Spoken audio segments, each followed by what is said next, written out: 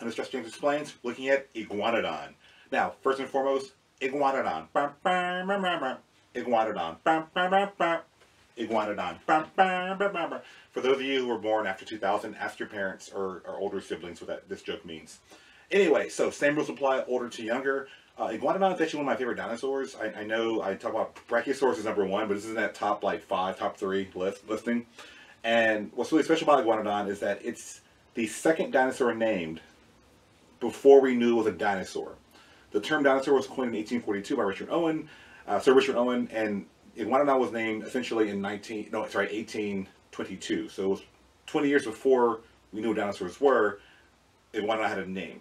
So the story goes that uh, Dr. Gideon Mantell was visiting patients, and he, well, according to the, the legend, his wife found in a pile of gravel a, a large tooth.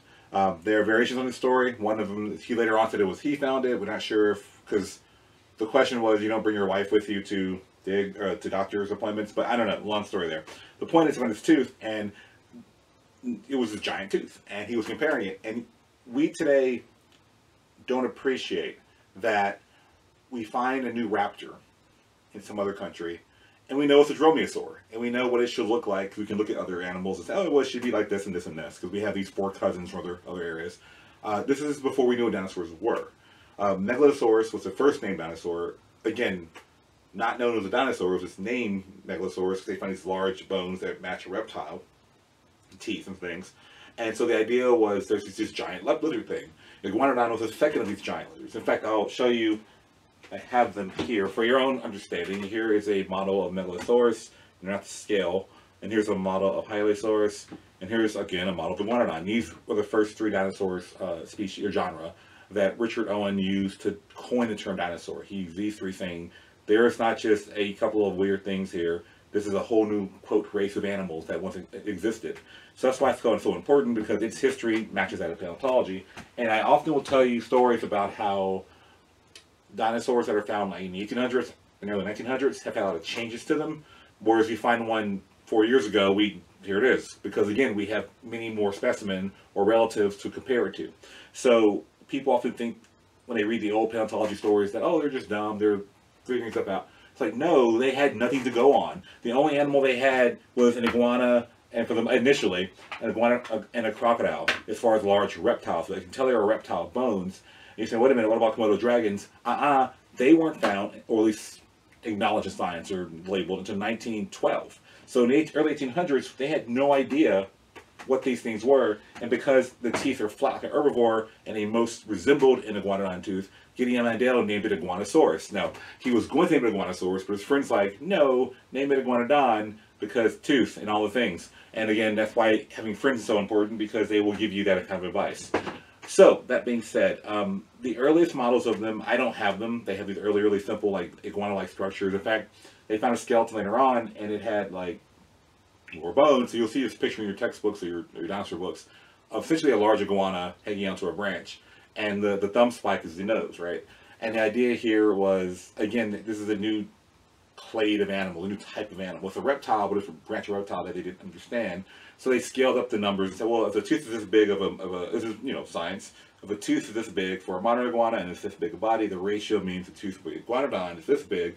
Therefore, the animal being built like an iguana would be like 60 feet long or 59 feet long. But in fact, uh, you know, this work was being done and we start seeing all these iguanodon species popping up. And the idea behind that was people were probably finding these bones and didn't know what they were. And then someone's like, this is an iguanodon. And they're like, oh yeah, I got some iguanodon too. It's kind of like how we see Megalosaurus on every, almost every theropod you read about that was found over 100 years ago. They're like, we first thought it was Megalosaurus and now we know it's maybe this or that, right? Uh, so that's what's going on there. That's, that's your introduction. Uh, the first example you will get most likely of a iguanodon is often this little guy here in your pack of 10 or 12 dinosaurs. And what makes it, I mean, people see this and they say, oh, a bipedal animal, they first think of T-Rex or an Allosaurus.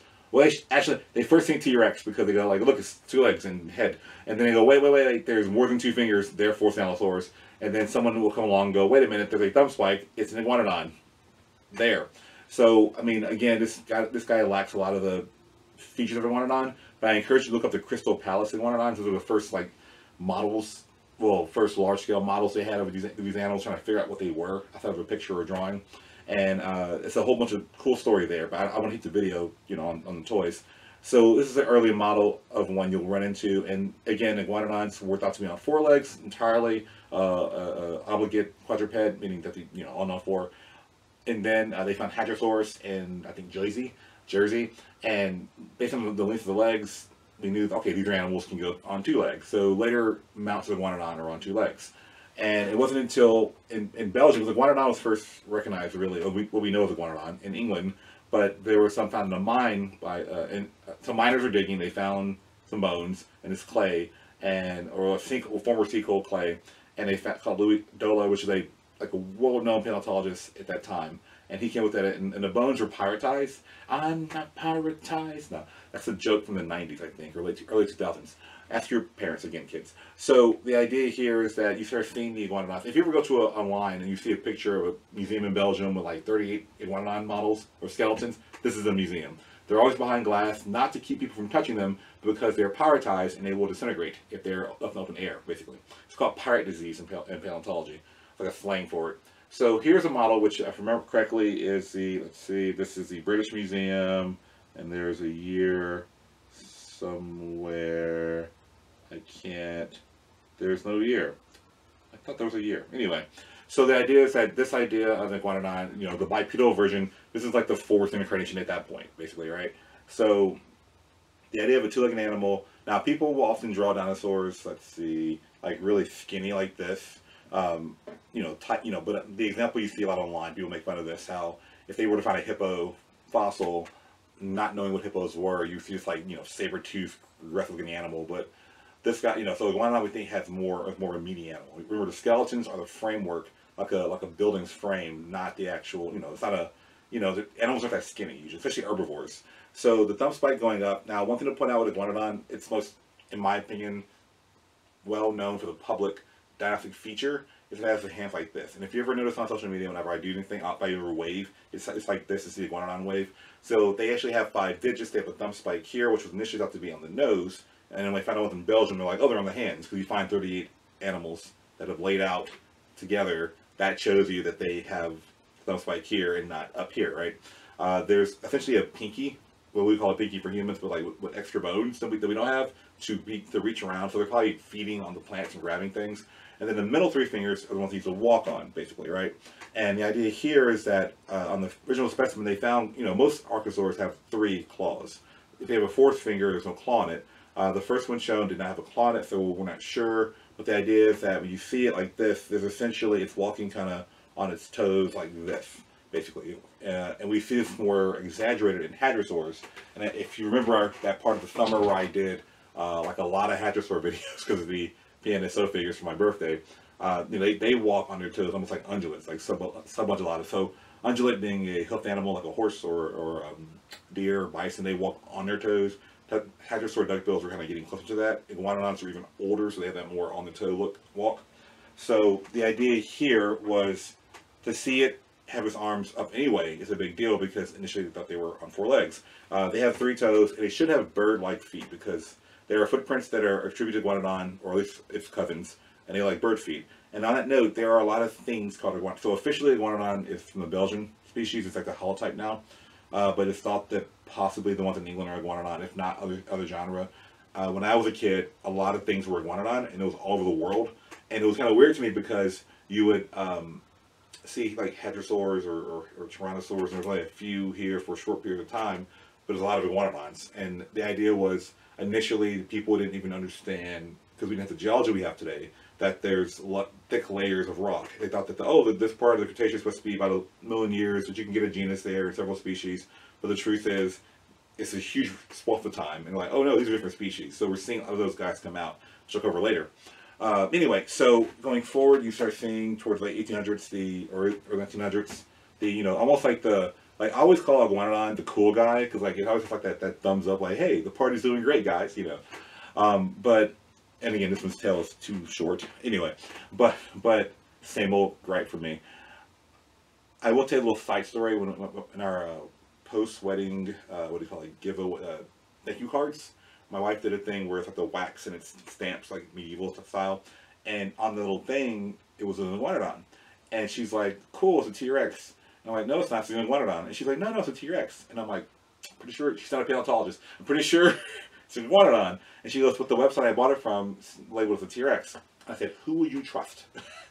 Your paleontologist husband or a website that doesn't specialize in dinosaurs but stamps. And she's like, oh, right, it isn't, you know, it's iguanodon. It was like just like this, you know. So my first iguanodon figure actually was this guy here, a very popular 2000, no, no, no, 2000, 1992 Safari iguanodon. So this guy is very popular. Uh, what's really cool about iguanodon is we think, based on some some evidence, they walked on can walk on two legs and also on, and um on two and four legs. So like much like hadrosaurs, they have fed on all four and then like walked on two or ran on two. Um, there is a hypothesis that we see that the arms of adult iguanodons are about 70% the size of its legs, whereas with juveniles it's 60%, implying that they walk more on their on their um, on their hind legs. Uh, that, that's not being debated right now or attacked. But the idea is that this is the general view of an iguanodon that people in the 90s, when Jurassic Park was big, came out, uh, people often confuse this figure with a predator because it's on two legs. But and but no, that but the idea here is that the, the, the, the grinding teeth, the plants mean carnivore herbivore. Uh, the hands of Iguanodon were also part of the inspiration for Godzilla. Essentially, Godzilla is a Tyrannosaur with a Stegosaurus back spike and Iguanodon hands, basically, right? And again, this is a very common figure. I have many of these in my collection. The fact that I was herd building. Uh, in the 2000s or year 2000, there was a movie called Dinosaur, which has either everyone I know who knows about it loves it or hates it. It's like a really weird like dichotomy. Uh, the iguanodons in uh, the main character Aladar, and in fact, in fact, I'm so I was so impacted by this movie that my actual um, what do you call it? My personal email has a, a version of Aladar in it. I'm not going to tell you what because you know hate mail. But the idea is that the iguanodons were picked for the movie, and they have. Okay, I'll start with the bigger model. Well, actually, I'll do this. No, no, bigger model. So here's my large Aladar figure, which I was so excited to get when I was a kid. Uh, the idea here is, well, the first thing I point out is yes, it is on all four legs. That's good for a walking animal, but it does give you like the feet. So the feet pretty much give you like, I walk on, I, I can walk on four, but I can brew up on two, like that hinting at his lifestyle. The thumb spike's there, the pinky's there. I will point out that the, again, the, the three claw toes there. One might not have a claw, one on the outer end near the pinky. Uh, but the number one thing people see with this animal, and they are most uh, uh, upset by it, most paleontologists, are the lips. So Iguanodon has a beak. Now initially they, we didn't know that because they didn't have a skull, but once they started finding skulls and finding other relatives and everything, they found, oh, they have beaks, right? Uh, for cropping their leaves, and they have the flax for chewing the leaves. And so the reason uh, the animators, I think, said that they gave Iguan Aladar and his species in the, in the movie uh, uh, Lips is because one, uh, it was hard. These are characters. I'll say it this way. Initially, the, the Disney dinosaur was supposed to be like Life Before Time. supposed to be two. They wanted to have an idea where it was like a silent movie, where kind of like Primal, uh, where there's no words and the animals just are acting, and you kind of in, in, intuitively understand the emotion and all that. Well, the idea here is that when you have a beak, it's hard to articulate lip movements and these kind of things. So they give him those lips over the beak. So when, when Aladar like makes his roar noise, you can see his beak under there. Um, but there's no evidence of them having that skin over the beak like that. So right. Um, and if we saw with uh, Zazu and or John Oliver and the live action Lion King, it's hard to, or you know, beaks don't move. It's hard to articulate certain words and emotions with a giant of bone on your face, right? Uh, on the back of my Aladar here, we have his uh, his uh, adopted lemur family. Spoiler for the movie, uh, two, you know, 22 year old movie. They're you know his friend Zini, his adopted mother. Uh, I can't remember their names. Oh my goodness, Plio, and then Suri, his sister, and his grandfather Yar. And so, also know that there were no lemurs in the in the Cretaceous period. Uh, they were going to use the animals that were found. They were going to use mammals that were found in that time period for the movie but according to the animators, they were too ugly. so they put lemurs because, again, people can, can you know, relate to lemur-like face versus a Purgatorius face. And of course, the Iguanodon has that too. He, if you touch his neck, he talks like that, right? Uh, so, as with Disney, there were many, many versions of these toys. And they made the big Iguanodon and Carnotaurus, which Iguanodon is Belgium or European, and Carnotaurus South America, so not a thing. In real life they would have ever met. But the smaller Iguanodon here, an Aladar figure. Now what they did was really neat is for Aladar and Anira, uh, who the is like the love interest, I guess. Uh, this actually is from uh, McDonald's because they didn't make a fem- I hate that they like female characters all the time. So uh, in short, so the idea that she is more gracile and the male is more robust. Uh, we do see in iguanodonts they have uh, different two different size or types of hand thumbs, and some paleontologists have taken that to believe that if you have two of something in any population, it must be male and female, basically. Uh, and the idea is the males would be fighting with their thumb spikes to either fight off predators or, well, if it's fighting off predators, both should have it, right? But if it's fighting for mates, the males usually have a different or modified version because they're fighting other males. Interspe- it's called interspecies. On that note, in the movie, we have, uh, I can't remember his name, Kron. Kron is the leader of the herd, and he is Neera's older brother, and he is given this like boss on his nose. So it's interesting because I think they're hinting at, the.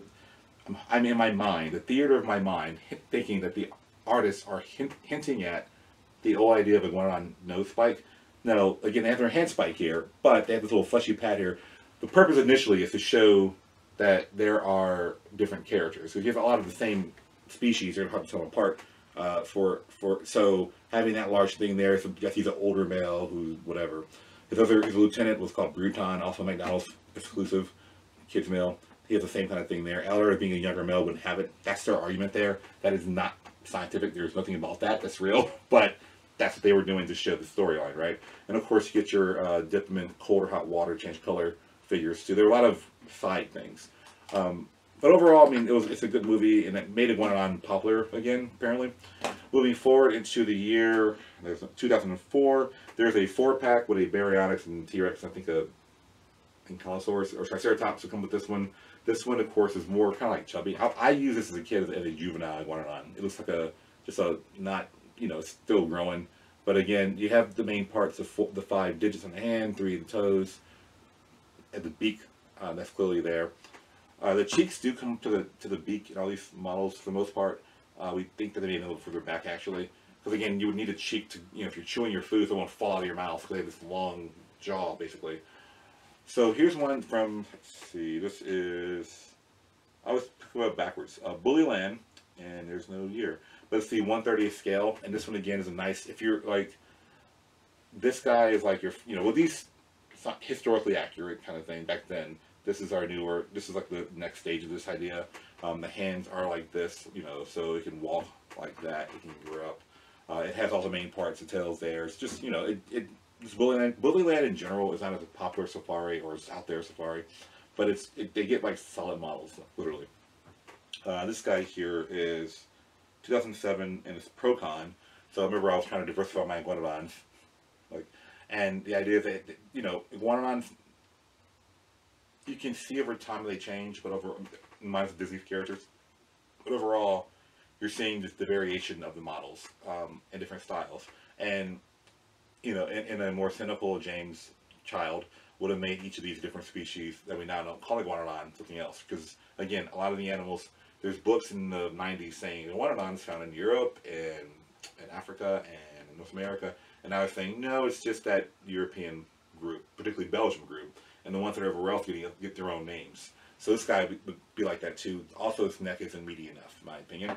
Uh, you get those little bitty, uh, again, it's a bit of an advantage, not advantage, a jump from like this 10 pack to like this guy. At least this guy has, again, the parts you're looking for. It has a hand like this and has all, you know, three toes, and they're trying to increase their, the, how good these models are.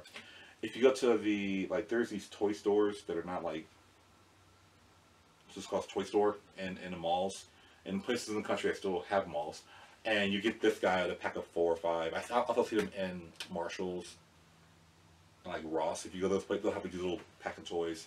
Like you have four dinosaurs. So this one is from that. And again, pretty good model. Uh, the thumb spike is gigantic on this one, so I don't. It's it's it's it's terrifyingly large. Um, but overall, it's pretty decent model. It's you know, again, I wouldn't. It's in my group, so I wouldn't. I wouldn't throw it out of the collection. Uh, I need to actually move stuff over because we need to do things later and space and stuff. But the next model I have, one I'm going to go over or series of models, basically. all moving the herd, moving the giant herd of dun.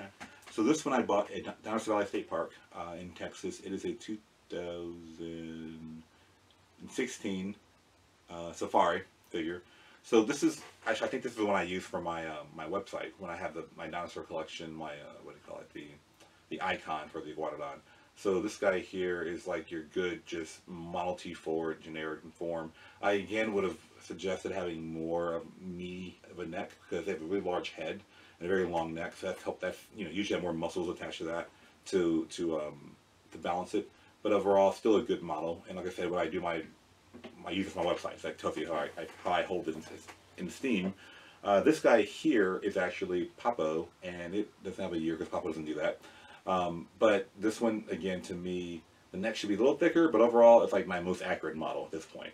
Uh, I like this one a lot. It has articulated jaw. You only see that in predators usually, so appreciate that. Even the cheeks are not on the beak; they're further back. That's really good. The hands are just great. It's, it's that claw on the fourth digit on the hand still questionable, but overall, this model hits all the points. So if you're looking for just like, you know, if you buy one iguanodon this year, I would suggest this one overall because uh, this is a nice, nice model.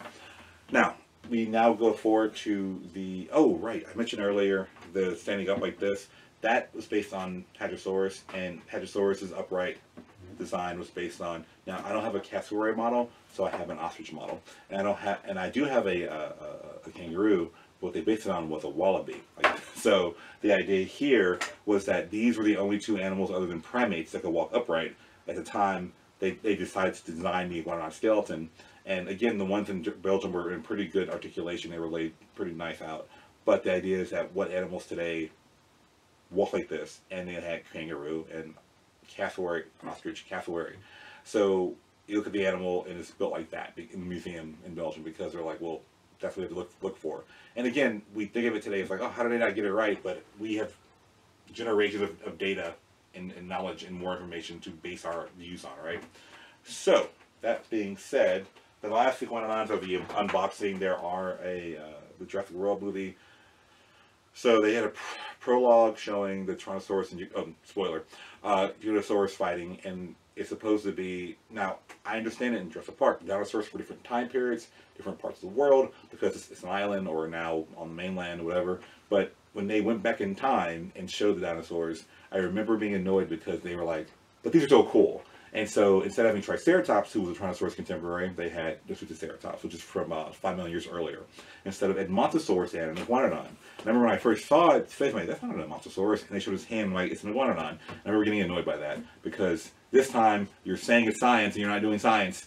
But anyway, they have those little packs that you open up. They get two free toys. Uh, not free. You buy them at Walmart, and the Iguanodon came there. So I got this one first. And I noticed on the hand, it only had four fingers, not five. And I remember I was like, this is ridiculous. How could they do this? You know, like that. Or I said, calm down. It's just a smaller toy. Maybe they need to use less plastic. I don't know. And they get a big one, and it too only has four. And I was like, ha, I was right. And she was like, this is so unimportant in her lives. But the point is, it's important to me. So, uh, let's see. How do we break this guy out? Break on? Okay, so let's go ahead and, there's two, there's only one strap on the actual arm. Some plastic rubber bandy kind of material. Cut that. And the foot, yep. So the foot is, again, you always break it this way. Yep. So the foot's there. You turn the plastic like this. The foot is now free. Uh, the tail is inside the pack. You pull it out like that. And like many of our Jurassic World figures, we plug the tail in like this. Okay, so first and foremost, like all of them, you have that DNA code thing right here. It has three toes that are pretty alright, they're bird-like. Uh, again, my main gripe with this guy is that it has two toes it walks on. It has a pinky and the thumb and like that, so it's missing the third, the fifth, the fifth toe, uh, fourth toe technically. Um, overall, I like the fact the head is articulate, can move around. The neck, in science, is too short. It's, it's too long. No, no, it's long enough it's just not muscular enough. Should be more muscles here. Uh, somewhere on the line. So if you hold it down and you and you push like that, it does that. It does just like that. Yes. So uh, as far as science goes, uh, in your Jurassic World collection, the only two dinosaurs that really, well, not sure it fits in the same environment ecology is Baryonyx. So you can have these two together. So that one actually comes with this one, called the British back. Um, so you have these two right here, right? But on the bigger scale, I want to talk about the environment and its relatives. So first of all, uh, relatives, iguanodonts are ornithopods. So the five major like groups people know about, there's the theropods, who are the predators from mainly. Sauropod, the long necks and their relatives. The ornithopods are like the duckbills and iguanodonts and their relatives. Marginocephala are the ceratopsians, the horn dinosaurs, and the Pachycephalosaurus and the dome heads, and except for the ones who don't have domes. And the Thyreophora are the stegosaurs and the ankylosaurs and their relatives, right?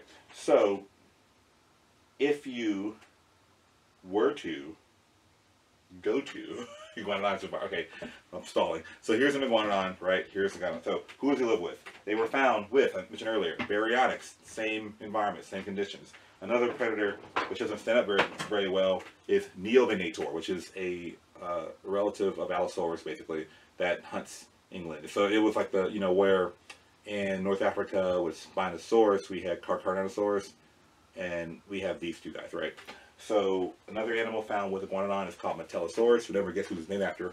Give you a Mantell. And another animal is the Hypsilophodont. I'm sorry, Hypsilophodon. And in North Af, sorry, in England, there are often. Oh, where is it? I'm looking for one. Where did he go? Couldn't have gone anywhere. Toy Story's not real.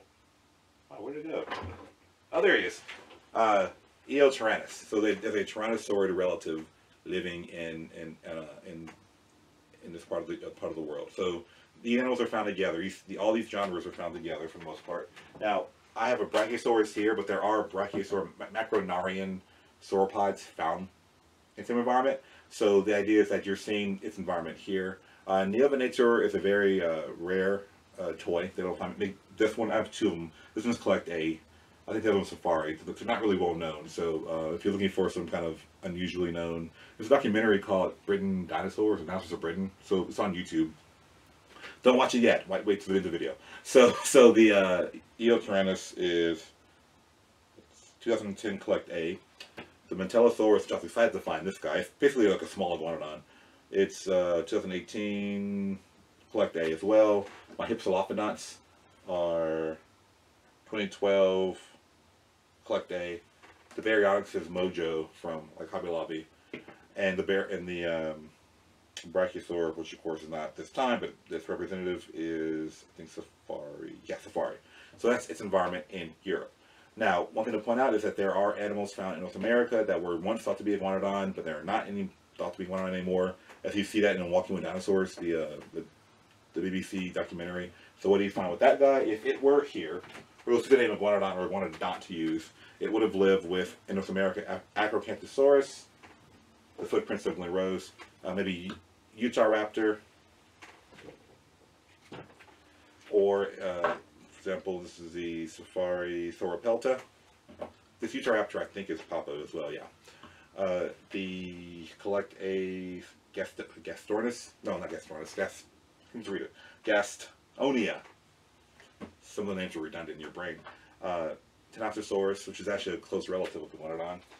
And let's see, Bananicus, which is this is so far, which I've been over several times in Raptor World. So, and there, there is a, again, there are like ultra, not ultrasaurs, um, Sauroposeidon.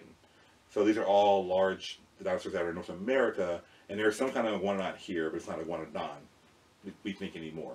So that's again this environment. Last but not least, I'm going to go over its uh, relatives because that's super important because where it falls in the tree, a family tree is super, super interesting to me at least. It's my area of study.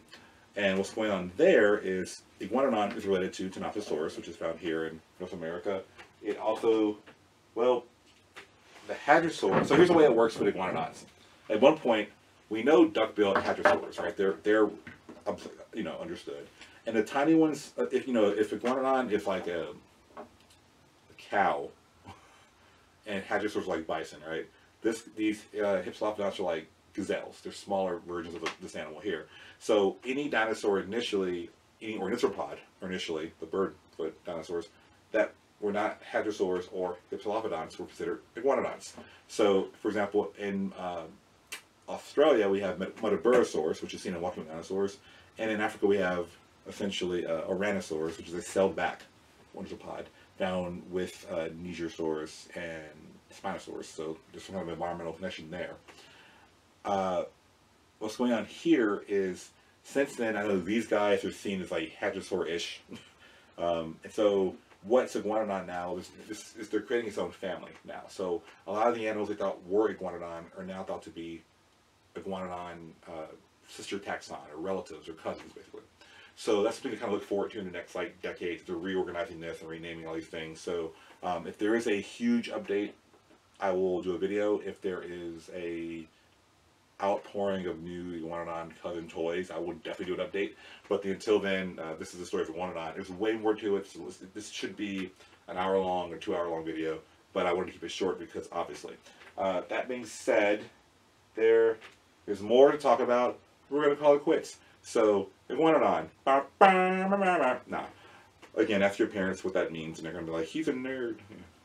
Thank you for tuning in. Uh, please like, subscribe, share. Uh, the you know people want to people need to know the story of Iguanodon. Will you help teach them? That being said, I'll see you guys later.